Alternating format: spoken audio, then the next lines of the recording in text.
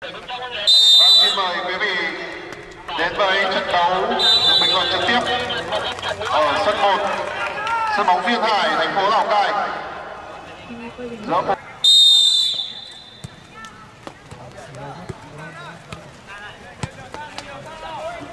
năm nay thì OCB có thể tốt và hôm nay anh sẽ đang ở ngoài đang dự bị và chỉ đạo chiến thuật Sơn Minh sở trường đá cánh và hay đá cánh phải. Nhưng hôm nay anh lại đang đá cánh trái. Cánh trái những mùa trước thì thường là luân tên lửa.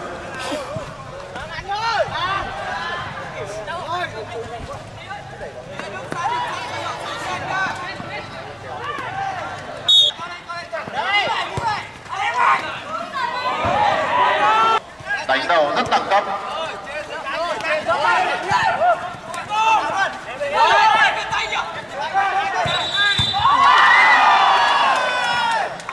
Giành ở lào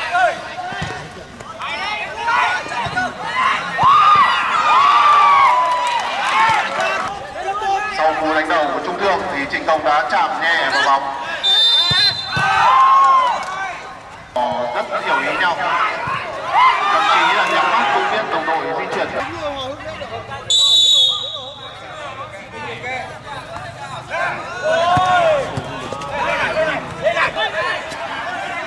OCB đang bắt đầu bon chân hơn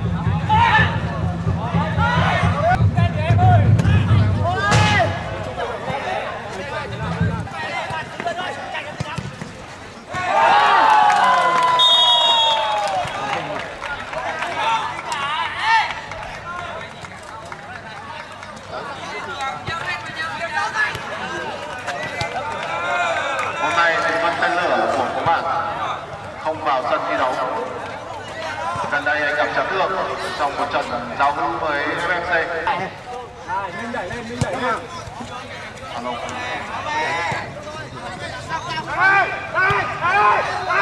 Duy Thành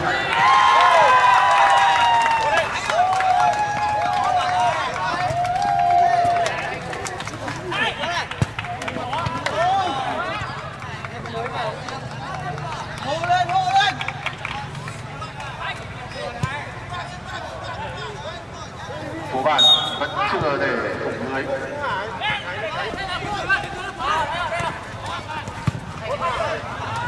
các cầu thủ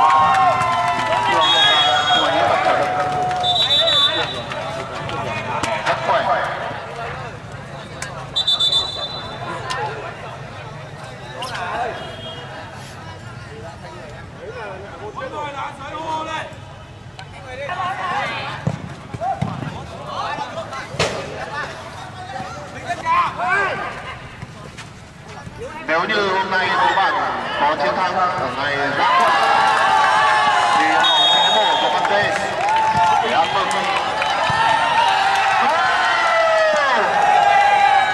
Vừa nói đến tin tê thì trung thương đã ghi bàn ngay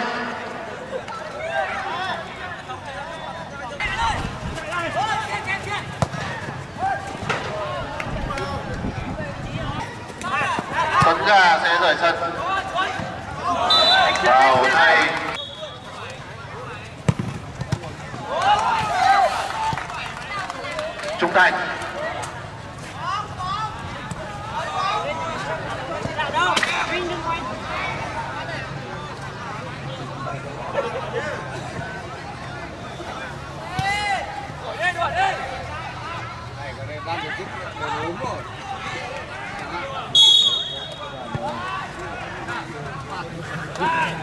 đây